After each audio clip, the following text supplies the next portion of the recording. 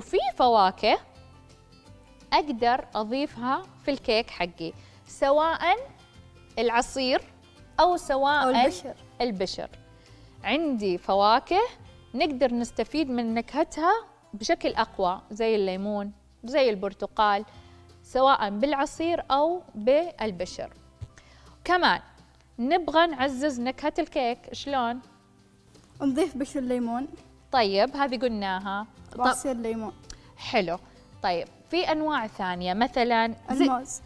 الموز صح كلامك نقدر التفاح. التفاح إذا كان آه نبغى نسوي تارت تفاح مزبوط ممكن.